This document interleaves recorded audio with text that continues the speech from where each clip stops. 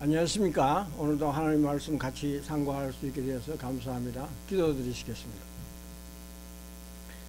아버지 하나님, 오늘도 은혜를 베풀어 주셔서 하나님의 귀한 말씀을 상고할 수 있도록 허락해 주심을 감사합니다. 말씀 상고할 때 주의 성령께서 함께해 주셔서 성령으로 기록하게 하신 말씀 성령의 도우심으로 바로 이해할 수 있게 도와주시고 깨달아진 말씀은 저희들 심령 속에 깊이 새겨져서 저희들이 땅에 살아가면서 무슨 일을 만나든지 그때마다 필요한 말씀이 생각나게 하시고 그 말씀이 능력으로 역사해 주셔서 우리가 하나님 기쁘신 뜻대로 믿음 생활 잘 해나가게 하여 주시옵소서. 그리하여 자신에게나 주위에 있는 모든 이웃들에게도 유익한 삶이 될 수 있도록 도와주시옵소서 모든 것 감사하고 예수님의 이름으로 간절히 기도드리옵나이다. 아멘 어, 그동안에 여호와를 바랄지어다 첫 번째 두 번째로 했습니다. 오늘 어, 계속해서 여호와를 바랄지어다에 대해서 어, 말씀을 상고해 보도록 하겠습니다. 지난번에 할 때에 10편 130편 7절 말씀 이스라엘아 여호와를 바랄지어다 여호와께는 인자하심과 풍성한 구속이 있습니다. 7, 8절 말씀에 저가 이스라엘을 그 모든 죄악에서 구속하시리로다. 어, 우리의 모든 죄악을 사해 주시기 때문에 우리가 여호와를 바라야 된다는 그런 말씀이 되겠습니다. 특별히 인자하심, unfailing love, 그리고 풍성한 구속이라는 말을 full redemption, 어, 완전한 구속이라는 말씀이죠. 어, 그래서 거기에 대한 말씀을 지난번에 상고했습니다. 예, 특별히 아, 오늘 계속해서 같은 내용의 말씀인데 이어져 나갈 말씀은 어, 하나님이 이렇게 우리를 어, 실패하지 아니하는 사랑, 끝이지 아니하는 영원한 사랑으로 우리를 사랑해 주시고 또한 우리를 구속하시되 어, 부족한 게 있어서 우리가 보태야 하도록 그렇게 하시지 아니하시고 하는 자신이 친히 온전하게 완전하게 구속해 주셔서 우리의 죄악을 어, 모든 죄악에서 어, 구속하셨다고 하는 말씀 우리가 이 말씀을 생각하면서 앞으로 남은 생에 살아가는 동안 내 죄 문제 때문에 고민하고 고통하는 일이 없기를 간절히 바랍니다. 그렇기 때문에 주님이 완전하게 모든 것을 해 주셔서 주님이 말씀하시기를 나는 어, 다 이루었다고 말씀하신 것 우리 기억하시죠? 어, 주님이 다 이루어 주셨기 때문에 우리가 더 이상 거기에 대한 염려와 근심을 하지 않아도 될 것입니다. 어, 그렇기 때문에 마태복음 11장 28절 말씀과 29절 말씀. 우리가 너무나 다 잘 아시는 말씀이죠. 수고하고 묵은 짐진 자들아 다 내게로 오라. 내가 너희를 쉬게 하리라. 나는 마음이 온유하고 겸손하니 나의 멍에를 메고 내게 배우라. 그러면 너희 마음이 쉼을 얻으리니 특별히 마음이 쉰다고 합니다. 아, 우리가 이 땅에 살아가면서 여러 가지 일을 만나기 때문에 어, 유체적으로는 때로는 괴롭고 고통스럽고 수고스러운 일들을 해야 합니다. 어, 그러나 우리가 어떤 일을 할지라도 마음은 주님이 주시는 참 평안과 기쁨을 가지고 어, 할수 있을 때 우리가 진정으로 어, 우리가 마음이 힘을 얻을 수 있는 겁니다. 어, 그래서 이 요한복음 14장 27절 말씀에도 보면은 평안을 너희에게 끼치노니 곧 나의 평안을 너희에게 주노라. 내가 너희에게 주는 것은 세상이 주는 것 같이 아니하리라. 너희는 마음에 근심도 말고 두려워하지도 말라. 주님께서 이 땅에 오셔서 우리에게 계속해서 성경 창세기부터 계시록까지 계속해서 우리에게 어, 부탁하는 말씀은 두려워 말라. 염려하지 말라. 근심하지 말라. 걱정하지 말라. 이런 말씀입니다. 그럼 우리가 진짜로 믿음이 있으면 주님 안에서 진짜로 쉼을 누리면 우리가 염려 근심 걱정할 거 없죠 우리가 신앙생활 할 때 이거 굉장히 중요합니다. 이건 전도할 때만 사용하는 말씀이 아니고 내 생에 시작 사, 어, 살는 동안 우리가 이 말씀을 가지고 내가 정말 주 안에서 쉼을 가지고 살아갈 수 있는가? 만약에 쉼을 가지고 살아갈 수 없다고 하면은 내 믿음을 조금 더 점검해 봐야 됩니다. 진짜로 내가 하나님을 믿으면 그리스도 안에서 쉼을 얻을 수. 왜냐하면 하나님이 다 해주셨어요. 완전하게 해주셨어요. 우리 하나님은 영원하고 완전하신 사랑으로 우리를 사랑해 주실 뿐만 아니라 전지전능하신 능력으로 우리를 사랑해 주시고 또 능력을 베풀어 주시기 때문에 우리를 확실하게 구원할 수 있는 그래서 이게 full redemption 완전하게 구원하시는 겁니다. 그렇기 때문에 우리가 더 이상 염려하고 걱정할 것이 없단 말입니다. 그러니까 주님이 주시는 이 평안 그래서 우리가 여호와를 바라죠. 주님이 주시는 이 평안보다도 더 좋은 평안이 이 세상에는 없어요. 그래서 주님이 말씀하시기를 어, 내가 주는 것은 세상이 주는 것 같지 않다. 예, 우리 이거 잘 알아야 됩니다. 세상에서 뭐 이런 걸 가지고 내가 평안해지고 잘 살아가 보겠다고 이런 마음 가지면 그때부터 어, 평안한 삶이 아니라 우리가 염려 근심하고 걱정하게 되고 고통하고 괴로워하는 그런 삶을 살아갈 수밖에 없는 그런 삶이 됩니다. 그렇기 때문에 주님이 계속해서 부탁하는. 그 다음에 또 빌립보서 4장 6절 말씀에 보면은 아무것도 염려하지 말고 어, 오직 모든 일에 기도와 간구로 너희 구할 것을 감사함으로 하나님께 아뢰라. 그리하면 모든 지각에 뛰어는 하나님의 평강이 그리스도 예수 안에서 너희 마음과 생각을 지키시리라. 이게 하나님의 평강. 이 세상이 주는 것 말고 하나님 평강. 이것을 가지고 있을 때 진짜 그 하나님 평강이 우리 마음과 생각을 지켜 주셔서 우리가 더 이상 이제 염려하거나 근심하거나 두려워하거나 걱정하는 이런 일이 없이 주 안에서 참 쉼을 누리면서 이 땅에서 힘있게 살아갈 수 있게 되는 것입니다. 고로새서 3장 15절 말씀에도 보면은 그리스도의 평강이 너희 마음을 주장하게 하라. 너희 평강을 위하여 너희가 한 몸으로 부르심을 받았나니 또한 너희는 감사하는 자가 되라. 예, 우리가 여호와를 바란다 하는 것은 우리가 여호와가 어떤 분입니까? 우주 만물을 창조하시고 운행하시고 모든 것을 하실 수 있는 분 그러면서도 사랑이신 우리 하나님 하나님 우리를 참으로 그 넓은 품으로 우리를 품어 주시기 때문에 우리가 그 안에서 참으로 평강을 누릴 수 있어야 되는 겁니다. 그래서 여기 하나님의 평강, 그리스도의 평강 이렇게 했는데 영어에는 보면 같은 말로 써서 사용을 했어요. Peace of God. 이게 그리스도의 평강도 보면 어떤 성경에는 보면은 그냥 어, Peace of God 그렇게 표현이 되어 있습니다. 같은 것이죠. 그런데 이제 우리가 이 땅에 믿음으로 살아간다고 하는 것은 하나님께서 주시는 그 평강이 늘 저희들 마음속에 있어 가지고 그 평강이 우리 마음을 주장해서 우리 마음을 이끌고 갈 수 있도록 해야 된다 그 말씀입니다. 그래서 어, 특별히 예수님께서 평강을 위하여 너희가 한 몸으로 부르심을 받았나니. 예. 이거 우리 한 몸으로 부르심을 받았다는 이것에 대해서 어, 일반 교회에서 많이 강조하는 것 같지 않아요.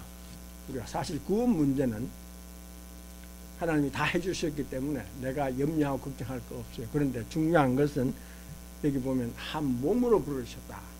이걸 우리가 이해 잘 해야 진짜 신앙생활을 잘할 수 있는 겁니다. 주님이 나와 함께 한 몸이 되었다는 거. 이보다 더 우주 만물을 지신 하나님이 우리와 한 몸이 되었다 그러는데 우리가 그보다 더 바랄 게 아무리 우리가 자식을 사랑해도 어, 자식이 내 어, 혈육을 가지고 다 태어났어도 완전하게 한 몸으로 살아갈 수 없지요. 그런데 하나님은 우리를 한 몸으로 해서 함께 살아가도록 그렇게 말이에요. 하나님과 한 몸이 되었는데 우리가 더 이상 염려 걱정할 게 몸이다. 그렇기 때문에 항상 여호와를 바랄지어다. 예, 그런 말씀을 하는 거죠. 그래서 우리가 이제 한 몸이 된다고 한 몸보다 더 조화롭고 평화롭고 이 평강을 모든 지체가 함께 누리는 그런 경우가 어디 있겠습니까? 이 몸보다도. 그러니까 이 몸이라고 하는 거 이거 주님이 머리가 되고 우리가 그 몸의 지체가 되고 지체가 주님 몸이지만 여러 지체가 있다고 그랬어요. 믿는 사람 모두가 지체입니다. 그래서 그 지체끼리도 한 몸이 되는 것. 이것이 잘 되면 그리스도의 평강이 하나님의 평강이 한 몸으로 말미암아 되어졌다고 그랬는데 이것이 잘 되면 가정에서도 교회에서도 내 이웃들과도 항상 평강을 누리며 살아갈 수 있는 겁니다. 그런데 이게 안 되면 아무리 우리가 인간적으로 노력하고 힘쓰고 애써서 하려 그래도 안 되죠. 그러니까는 가정에서도 시끄럽고 어, 교회도 시끄럽고 어, 그런 일들이 비일비재하게 일어나고 있는 것입니다. 여기 평강이라고 하는데 평강을 위해 한 몸으로 부르셔 평강을 위해 한 몸으로 부르셨다고 그랬는데 로마서 3장 25절 말씀에 보면 이 예수를 하나님이 그의 피로 인하여 믿음으로 말미암는 화목 제물로 씌워서 화목 제물로 씌웠기 때문에 우리가 하나님과 우리가 한 몸으로 평강을 누릴 수 있는 겁니다. 그뿐만 아니라 예수님이 우리가 피를 흘려주신 믿는 사람 모두를 위해서 흘려주신 거기 때문에 예수님 피가 모두에게 있는 겁니다. 그래서 한 몸이 된 겁니다. 그렇기 때문에 우리가 당연히 예, 믿는 사람들끼리라도 화목하고 평강을 누려야 되는 거죠. 근데 이제 한 몸이라고 하는 것을 잘 이해하지 못하기 때문에 너는 너고 나는 나고 그러다 보니까 너, 내 마음에 안 들면 마음이 상하고 또 상대방을 상하게 하기도 하고 어, 그렇습니다. 그러나 어, 우리가 평강을 위하여 한 몸으로 부르셨다고 하는 이 사실을 제대로 이해가 되면 이제 우리가 화목하면서 하나님과 화목뿐만 아니라 내 이웃들과도 화목하게 예, 살아갈 수가 있는 것입니다. 이것이 주님이 주시는 참 평안이라는 거죠.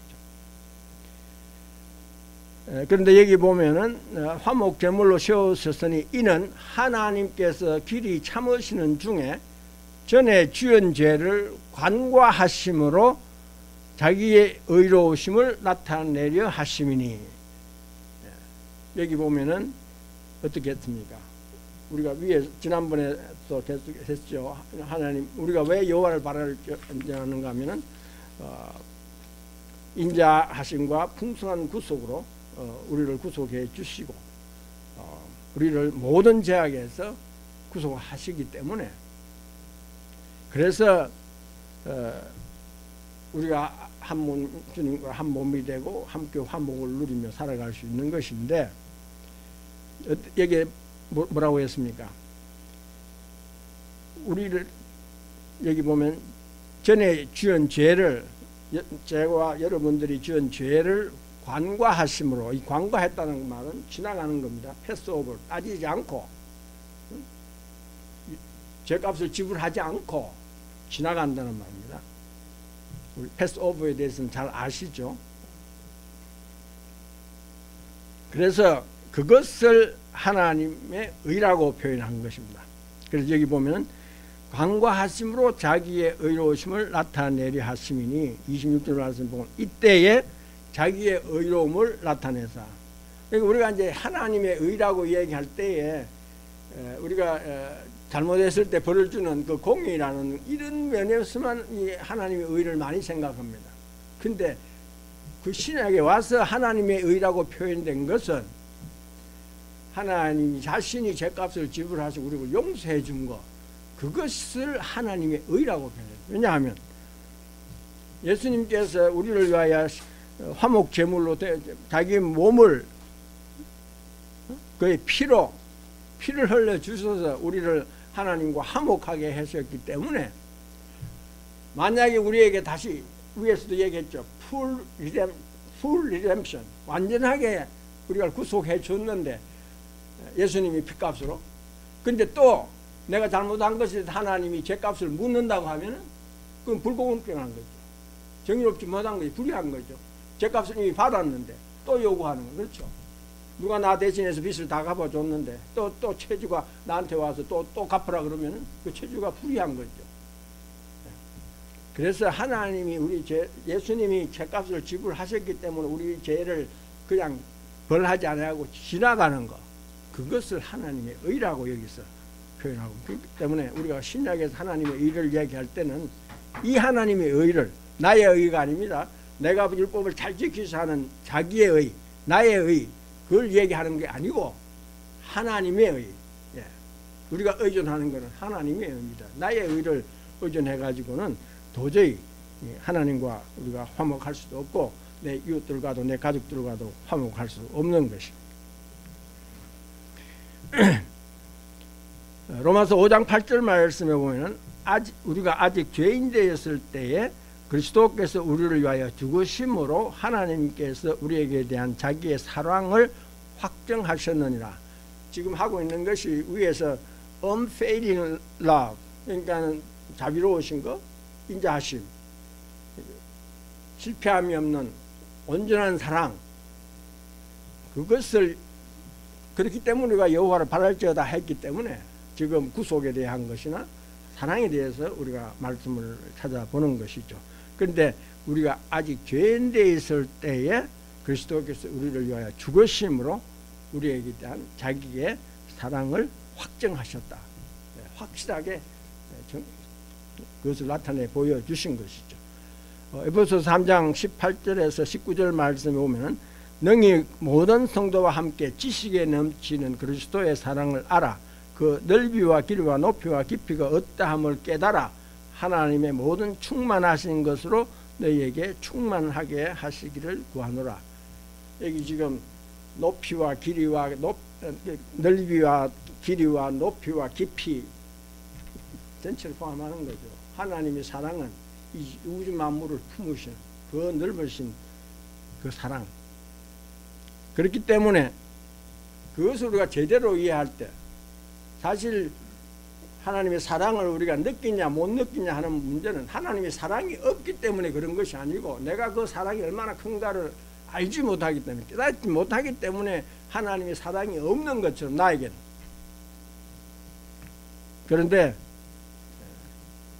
내가 깨달을 때는 하나님의 그 사랑을 느낄 수 있고 경험할 수가 있는 것입니다. 그렇게 될 때 이제 내 마음이 공허한 마음이 되지 아니하고 이 사랑을 제대로 이해할 때 그래서 다른 곳에 보면은 또한 그런 말씀이 있죠. 성령으로 말미암아 하나님의 사랑이 너희 마음에 부음받는다. 성령으로 말미암아 진짜의 하나님의 사랑이 우리 마음에 부음받게 되면은 이제 제대로 하나님 사랑을 완전하게는 아니겠지만은 그래도 그래도 우리가 좀 이해할 수 있겠죠. 그렇게 되면은 이해하는 만큼 내 마음이 그 하나님의 사랑으로 채워지는 겁니다.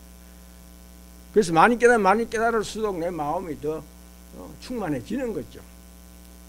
내가 공허하고 내가 마음이 텅 빈 것 같은 것은 내가 하나님의 그 사랑을 깨닫지 못하기 때문에 경험하지 못하고 그렇기 때문에 우리 마음이 공허하고 허탄한 그런 경우가 많이 있는 것입니다. 그래서 이제 자문서에도 보면 여기 보면은 하나님의 사랑을 표현할 때에 우리를 위해서 죽으심으로 하나님 사랑을 그 했다고 그랬는데 자문서 10장 12절 말씀에도 보면 미움은 다툼을 일으켜도 사랑은 모든 허물을 가리우느니라. 예.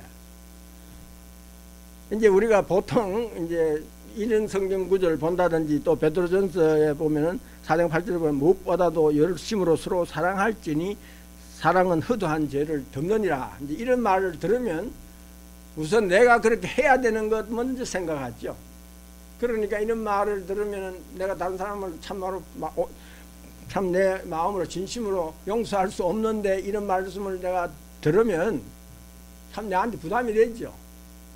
부담이 됩니다.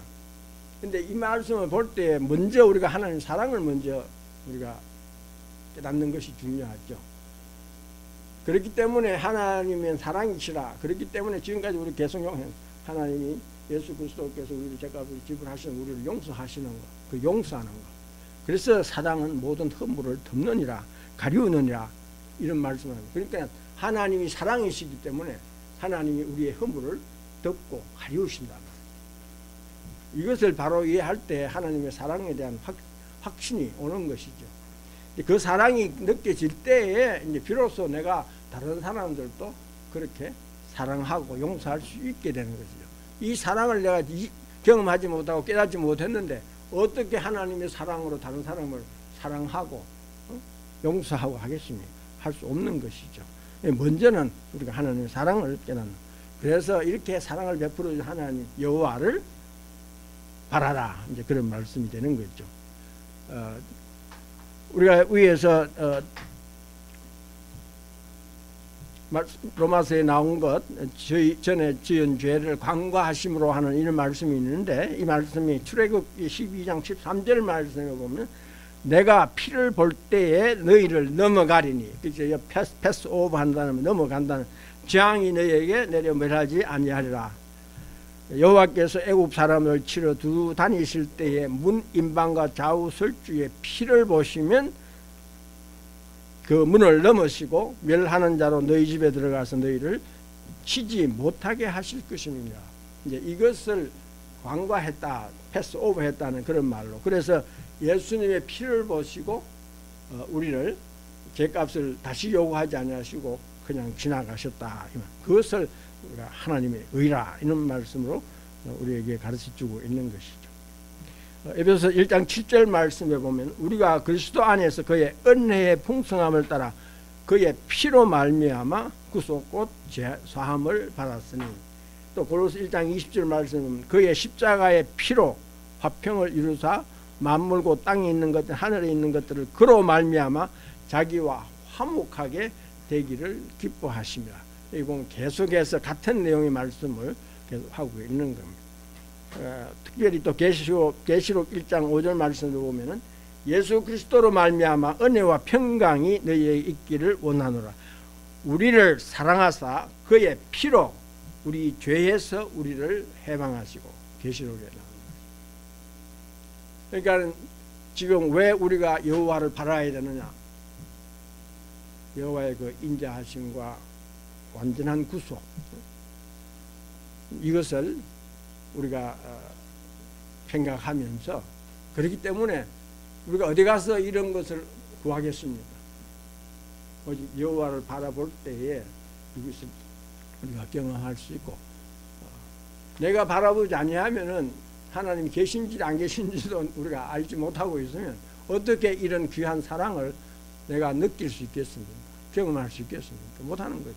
못하면 내 삶이 공허하고 공고하고 어떤 일을 만나면 또 두려워할 수밖에 없고 염려 근심 걱정할 수밖에 없습니다. 그렇기 때문에 우리가 여호와를 바랄지어다. 여호와를 바라면 이 모든 것이 우리 마음 가운데 채워지는 것이기 때문에 예, 다 같이 기도드리겠습니다. 계속해서 다음에 하도록 하겠습니다. 아버지 하나님 우리가 여호와를 바라봐야 할 이유를 분명하게 말씀을 통해서 알게 하여 주심을 진심으로 감사합니다. 아버지 하나님께서 이 말씀을 통해서 깨닫게 주셨사오니 우리가 더 이상 이제 이 세상을 바라보지 아니하고 오직 여호와를 바라보는 그런 삶으로 살아감으로 모든 염려 근심 걱정에서 두려움에서 벗어나는 진실로 주 안에서 쉼을 누리며 살아갈 수 있는 그러한 삶이 될 수 있도록 도와주시고 인도해 주시옵소서. 모든 것 감사하고 예수님 이름으로 간절히 기도드리옵나이다. 아멘.